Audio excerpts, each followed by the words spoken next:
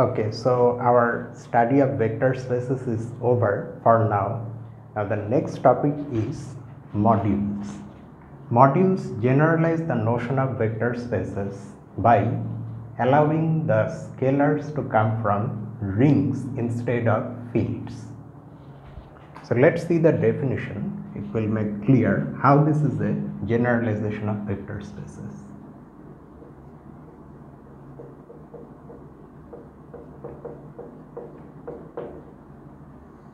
So we start the definition by considering a ring.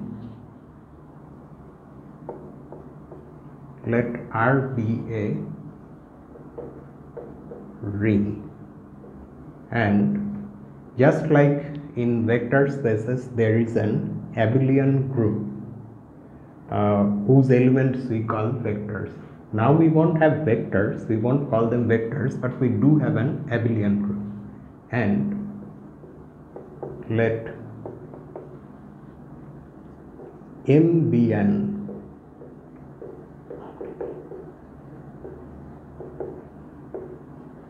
abelian group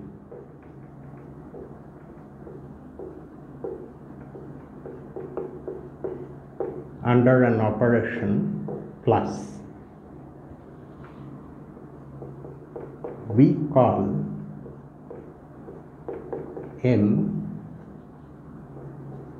an module or a module over R if for any ring element R and any element M from our set M there exists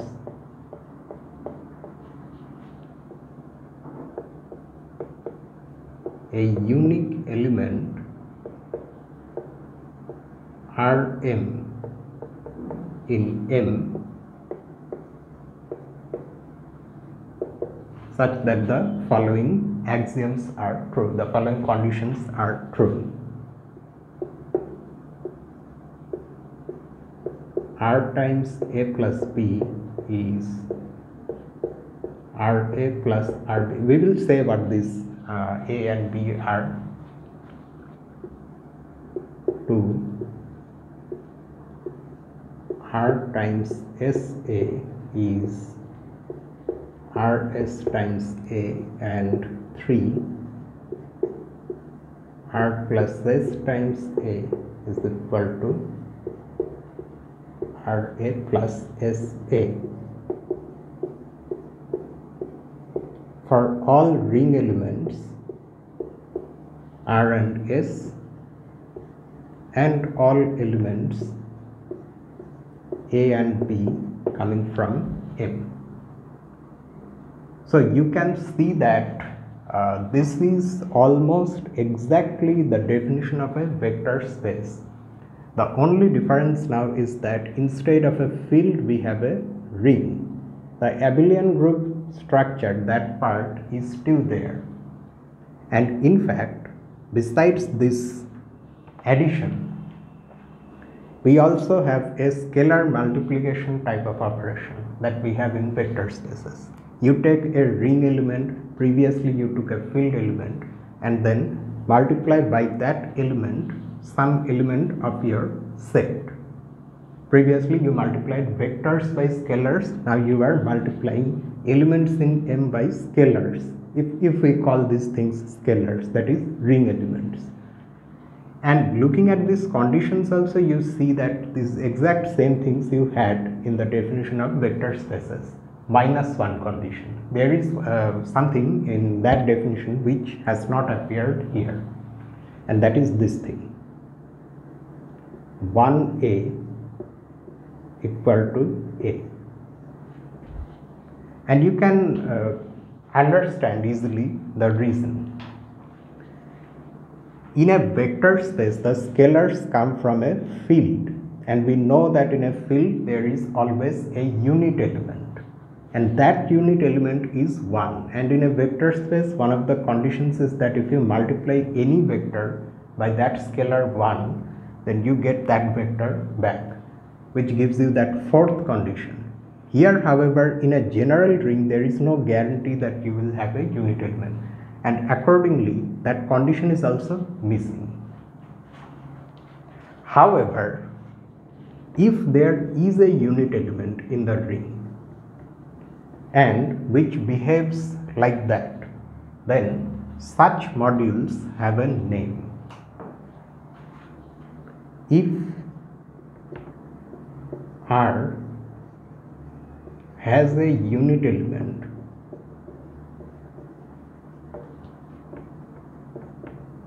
one and 1 m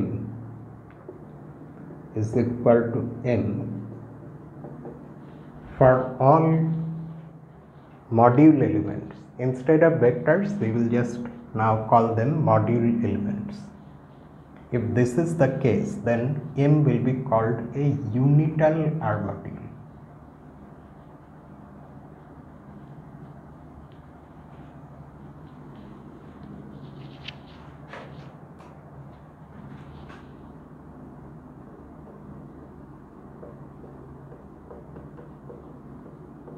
Then M is called a unital module.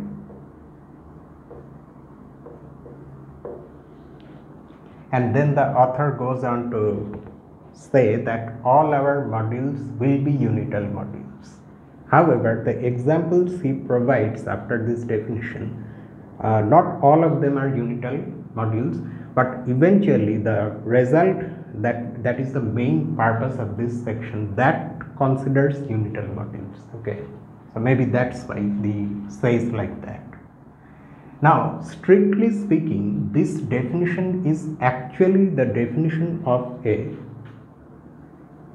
left R module because we are multiplying module elements from the left by ring elements. That's why there is a corresponding notion of right modules also. However we will not use that distinction in this book because it will not be needed. But there are uh, i mean there is that other notion also. Modules form a vast part of algebra. Okay so this is just simply some things that we will need for a very specific result. We are going towards that. Now let us see some examples oh okay i, I almost forgot this fact we have started our discussion by saying that modules generalize the notion of vector spaces uh, now let me just uh, ask you this. Suppose you have a unital R module. Okay. Say M is a unital R module. That means along with these three conditions, you now have the fourth one also. Let me write it here, namely 1A is equal to A. Now, can you say that this itself is a vector space? Because everything looks the same, right? But if you say yes, then you would be wrong. You see, it's tempting to just look at these conditions and forget entirely the fact that in a vector space, the underlying uh, system of scalars should form a field find this ring R has a unit element but R may not itself be a field. No? For example, the ring of integers is a ring with unit element and accordingly you will have unital um, R modules where R is the ring of integers. But because R is not a field, so the resulting module cannot be called a vector space in spite of being a unital R module. So this is something that uh, we can easily get confused with okay and let us now see the examples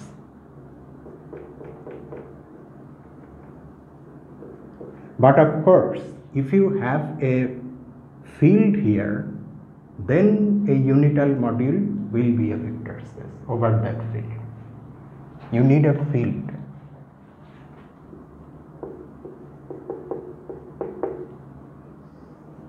This first example uh, it uh, looks nice it sounds also very nice.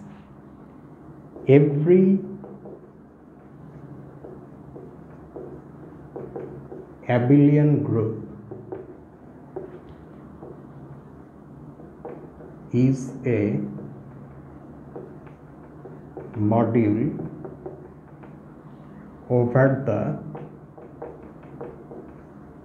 ring of integers.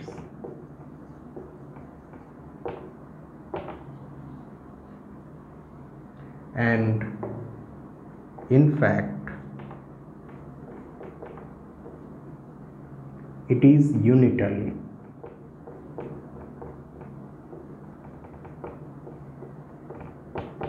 So this is a statement that we will prove in one of the exercises, but at least let us see what the operations are. That way we can uh, have an idea of what is going on roughly. We have said something about every abelian group. And this statement does not even bother to mention the operations so that means the operations somehow must be extremely natural, so natural that uh, there is no need to mention them even. And that is the case. You see, so let, us take uh, an abelian group G. And there is some binary operation which is commutative. And we are saying that this G is a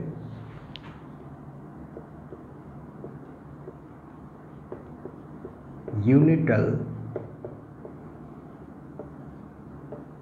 J, J for some reason uh, the author uh, denotes the set of integers or in fact the ring of integers by J or you can use the more familiar notation Z or C.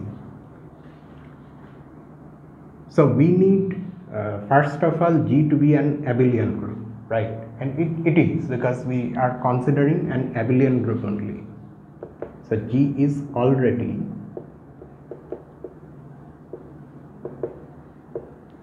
an abelian group. Now we need that other operation also. So let us take an integer n and some element g in g. We need to define ng and this ng if you think of it for a moment can be most naturally defined to be the nth power of g. And in fact considering the fact that g is an abelian group already there is a meaning of this notation ng which is nothing but that itself. Okay in additive notation this nth power of g is just simply written as ng this we have done in uh, group theory. Okay, fine. Now, is this, you, you see, this is a binary operation. So, although we sometimes very casually write things like this, but you have to understand that behind all these things there is a rigorous uh, argument. Rigorous argument means rigorous setup. So, what you are doing here actually is you are defining well i should not have said it's a binary operation. I mean uh, not in the usual sense of binary operation but it's a function. And that function looks like this. It's a function whose domain is this.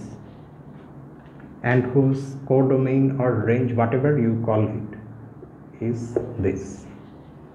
In order for this function to be well defined you have to have this you take any ordered pair, any element from this Cartesian product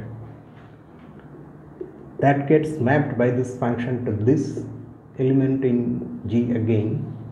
So for a given such pair, this first of all should belong to G. that is the first condition and the second condition is that it should be unique then only this function will be well defined is that the case yes it is the case because you know that for a given integer n and a group element g the nth power of g is already a well defined group element and we did this in group theory towards the beginning of group theory itself. So there is no problem with this binary operation. But will it satisfy those conditions that we have in the definition of a module let us just see okay? We, we will uh, write the solution when we solve the exercises formally but now itself let's just see how things are going to go. So what are we going to do? We take two ring elements. Let n and m be ring elements means integers. And we also take two group elements G and H in G. So first of all what is it we need to show? We need to show that n times G plus H. Now you need to understand that this plus is actually the binary operation in G. Since G is abelian so we can denote it by plus. But by definition this is nothing you will be a little confused if I if you if I continue to write this plus. So instead let us just use multiplicative notation itself. G plus H actually means GH where we are deciding not to use any uh, symbol for the binary operation. By definition it's the nth power. Now the fact that G is an abelian group allows you to write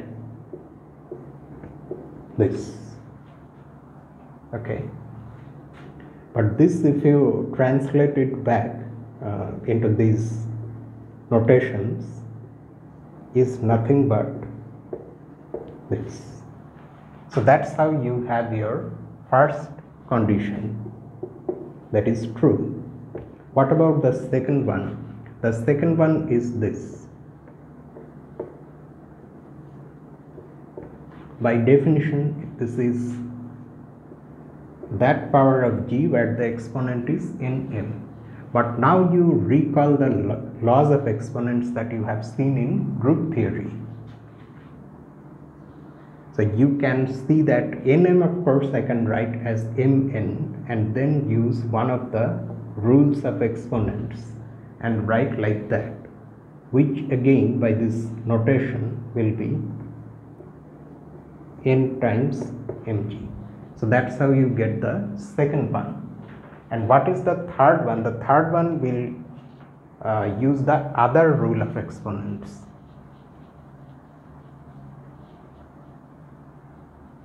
So we have in fact shown here itself how this is a J module or a Z module.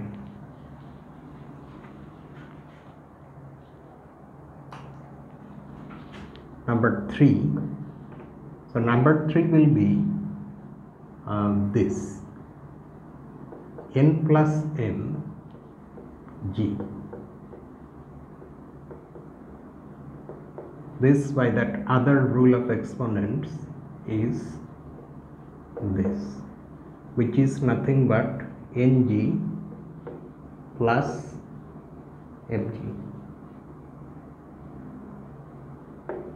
So that means G is indeed a J module, but is it unital? We mentioned that it's unital.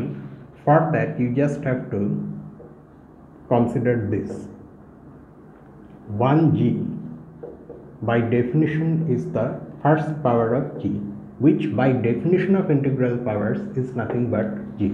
So, yes, this is a unital Z module, any abelian group. Next, example 2. Example 2 is also a very nice example. Let R be a ring. It is kind of that one is also general, but it is kind of uh, somewhat more general. Let R be a ring and M be a left ideal of R. Do you remember that in the section where we studied ideals of rings, uh, they are not in the section itself but in one of the exercises we defined left and right ideals separately. Um, and we also mentioned there that we are not going to use that much this distinction of left and right in this book but uh, they are important notions. So this is another instance where we are using it. So you have a ring R and you have a left ideal of R. What does that mean? It means that M of course is an abelian group under the addition that we have in R so that is one condition and then the second one is that M engulfs multiplication of elements of M from the left by ring elements. That is, if you take any element of M and multiply it from the left side by any ring element, then the product will lie inside M. So this gives you uh, the full idea of what you should do to make M an R module. It's almost immediate. Now, already M is an abelian group under the addition in R. Then M is an this is how we express that fact additive subgroup of R and hence is abelian because R itself is an abelian group being a ring under its own addition.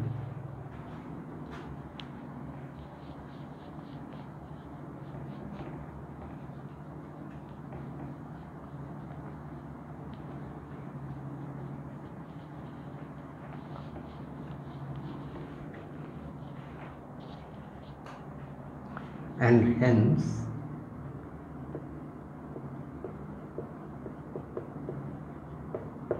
abelian okay. Now for any ring element and any ideal element m we define Rm to be the product of R and M in R. That means Rm is just simply the product Rm that you would calculate inside this ring R. So not only are we using the addition of R in making M an abelian group, but we are also using the multiplication that we have in R in order to define this operation. Note that since M is a left ideal, so this Rm belongs to M.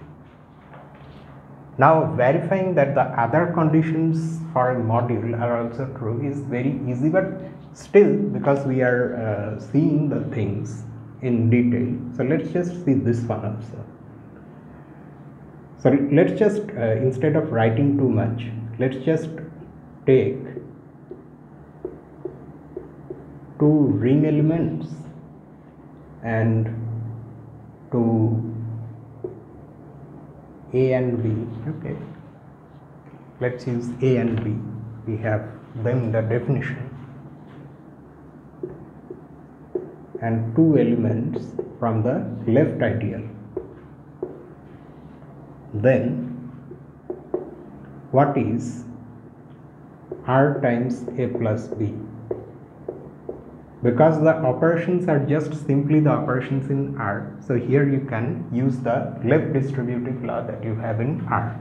So by that law, this is RA plus RB. That's it, that's what we wanted and we have got that.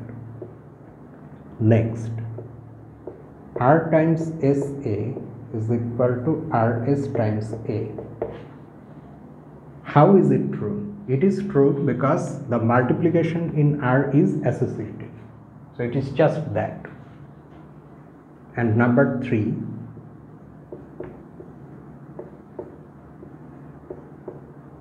is this, which is nothing but the right distributive law. So that's why uh, M is an R module.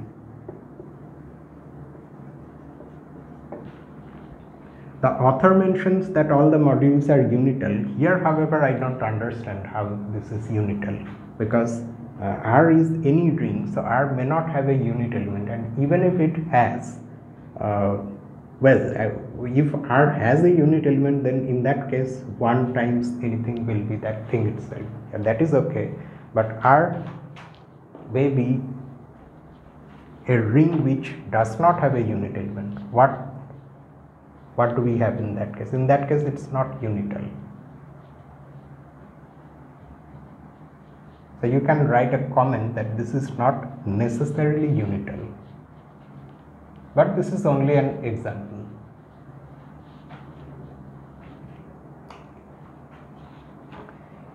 Example uh, 3 is a special case of this.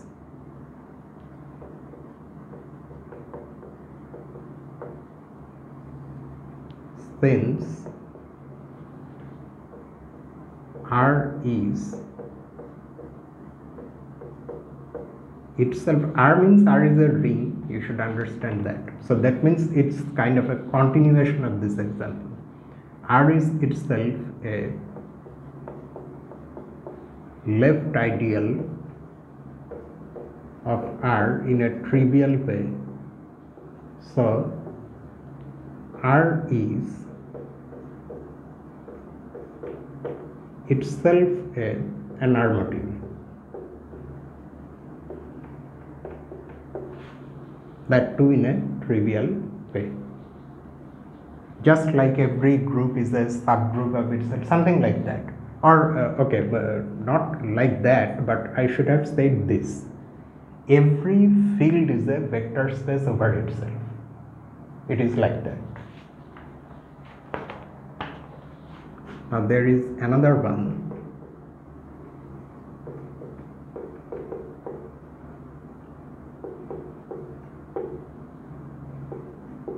Here also we will have a left ideal of some ring but uh, we won't consider this module but something else. Let R be a ring and lambda be a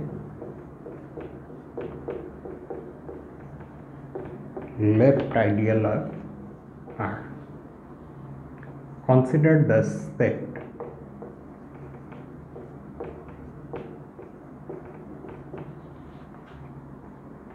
M whose elements are the left cosets of this left ideal lambda.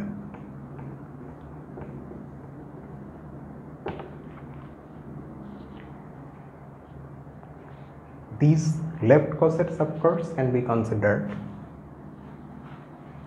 see the fact that lambda is a left ideal actually does not affect these cosets because you should remember that being a left ideal whether it is a left ideal or a right ideal by definition lambda first of all is an additive subgroup of R so as a subgroup it will have cosets so in that sense, we have our normal cosets, that's it. Lambda being a left ideal has nothing to do with these cosets, okay. On M, we define this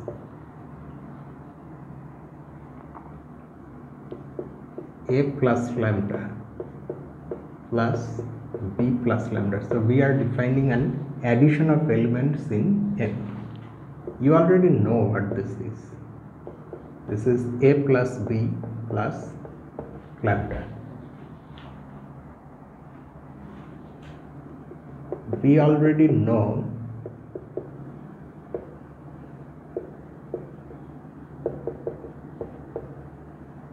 that M is an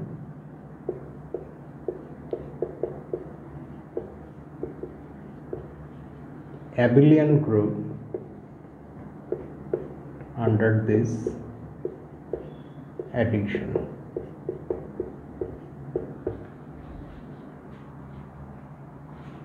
Next, for a plus lambda in M and R in R, we define uh, the multiplication of a plus lambda by r from the left side. This is also defined in a familiar manner like this. It turns out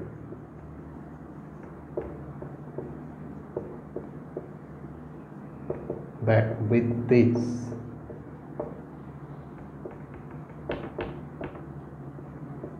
M is an R module.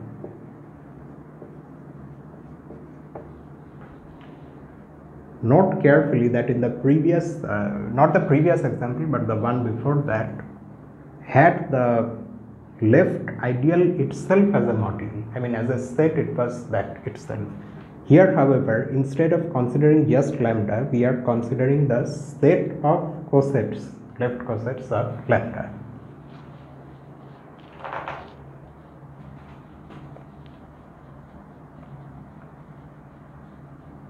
and you can understand that this construction of M is somewhat like uh, quotients, like how we constructed quotient groups from groups and normal subgroups or quotient rings from rings and ideals and quotient spaces from vector spaces and subspaces. Here however again we have a ring um, but now instead of necessarily an ideal we have a left ideal and instead of a quotient we have uh,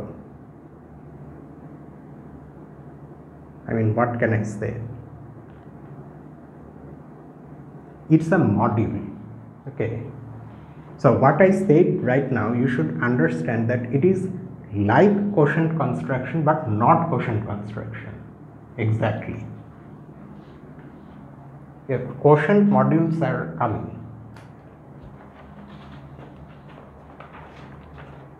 And it has a uh, name also.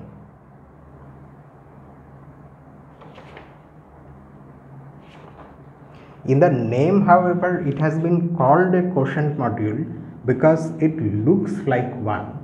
But actually, if you really think about it, uh, for quotient spaces, we need groups and normal subgroups.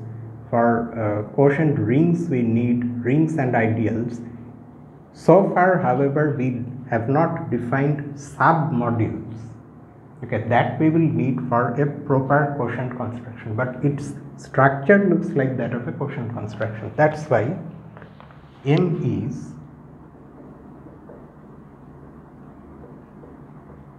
usually called a difference module or a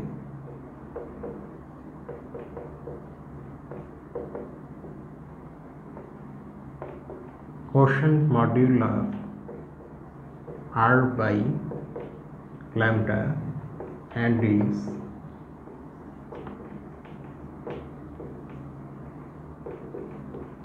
often denoted like this r minus lambda or in fact even r by lambda r slash lambda.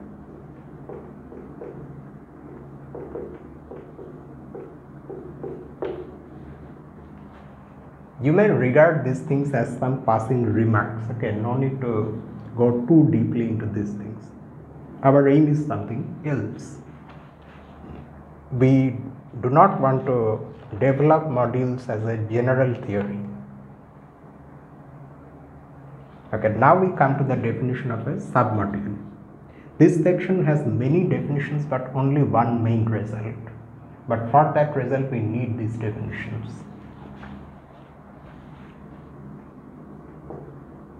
an additive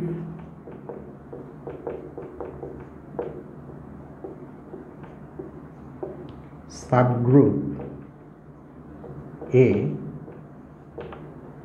of an R module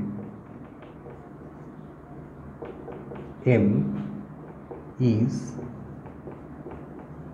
called a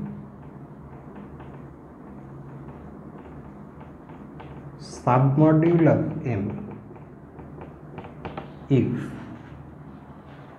if it is closed under that uh, multiplication by ring elements.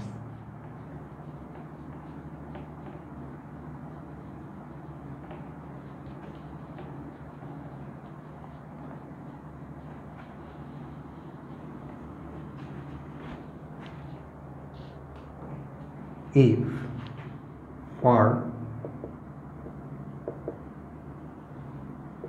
every ring element and every element in A the product RA as calculated in the module M belongs to A itself and you can see that this is a very natural definition.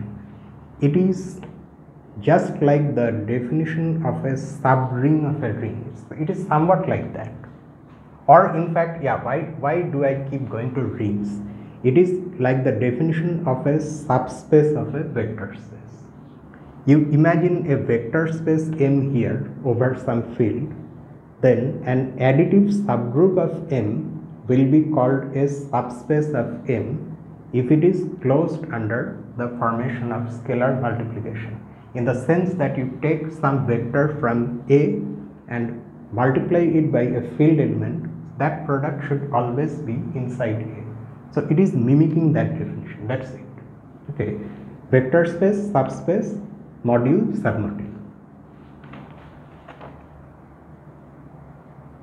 And then of course uh, yeah this is where the actual quotient construction comes given an R module M and a submodule A. So now if you have an R module M and a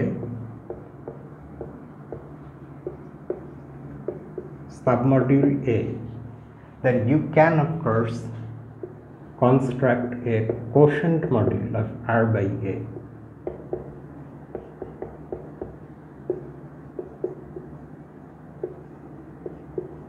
by proceeding naturally like how we are supposed to proceed. And then of course having uh, this uh, quotient module this notion one can then go on to define homomorphisms from one module to another module and then prove the usual homomorphisms theorems linking quotients modules and all those things. So these things can be done and they will be done in the exercises that come after this uh, section is over. But the thing that we are interested in is a very specific result about finitely generated modules over Euclidean rings. So to get to that result, we are going to need a few more definitions. So let's now see this next definition.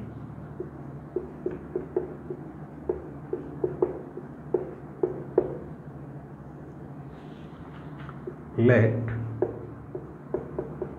M be an R module although it's not necessary to every time mention the ring underlying ring but we keep mentioning it. If you want you can just say let M be a module. Let M be an R module and M1 M2 etc. ms some finite number of submodules.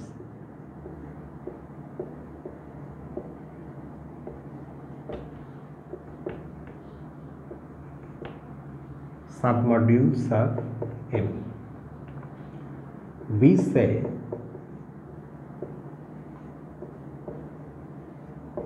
that M is the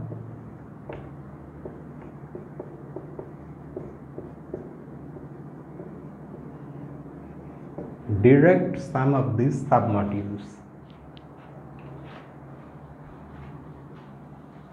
So this again mimics the notion of the direct sum of the subspaces of a vector space of some subspaces of a vector space.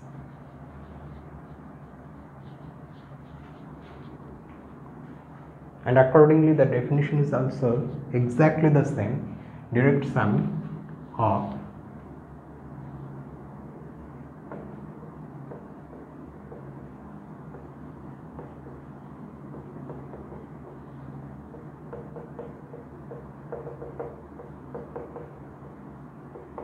if every element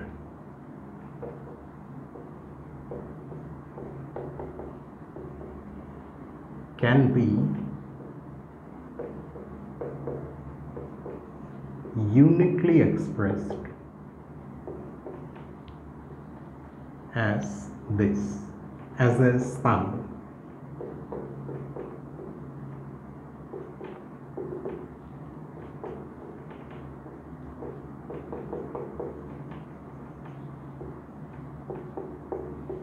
where small mi comes from capital Mi.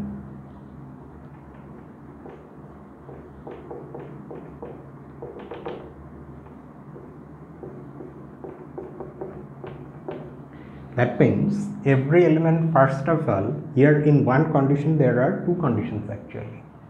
Every element in the module should be expressible in this manner that is the first condition. It should be uh, able to be written as a sum of elements from these submodules.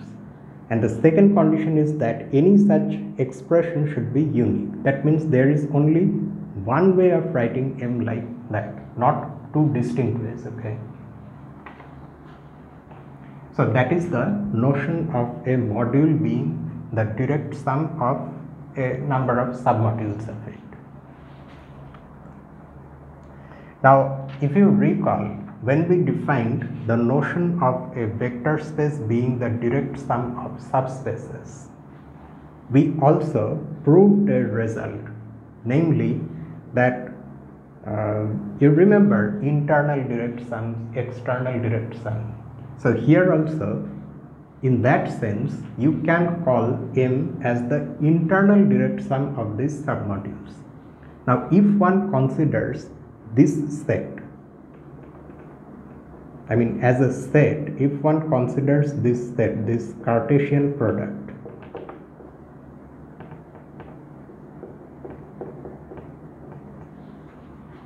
and then defines addition and multiplication of elements of this by ring elements uh, component wise okay you should be able to understand what I am saying here you define addition of two elements in this set component wise.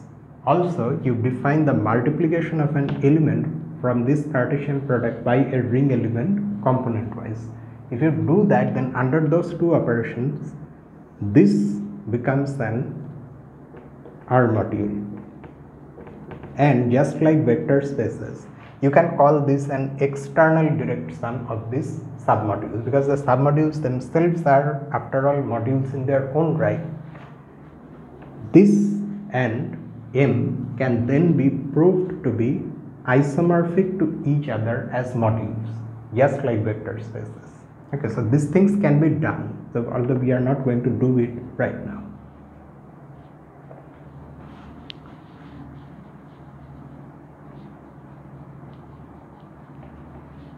And then we are going to look at the very important notion of cyclic modules.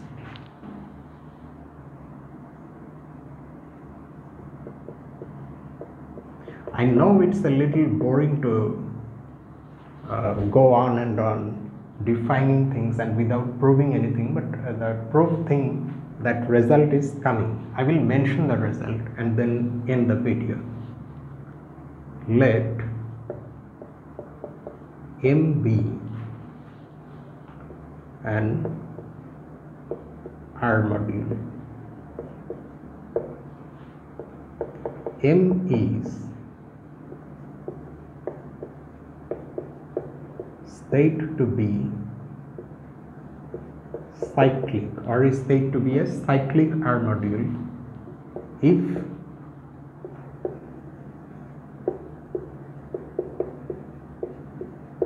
there exists an element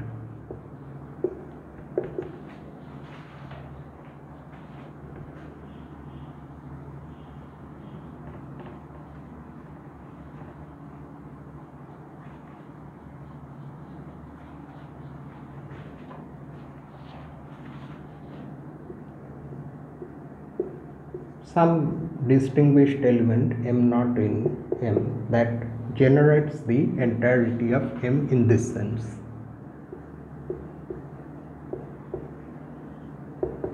such that every element m in m can be